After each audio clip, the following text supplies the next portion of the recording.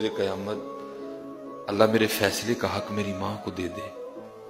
तो ये बता मेरी माँ मुझे जन्नत में भेजेगी कि जहन्नम में? तो भाई कहने लगा, ज़ाहिर है माँ है। वो तो तुझे जन्नत में भेजेगी। वो रो पड़ा। और कहने लगा, अगर वो माँ मुझे जन्नत में भेजेगी तो वो मेरी माँ से भी ज़्यादा मुझसे मोहब्बत करता है।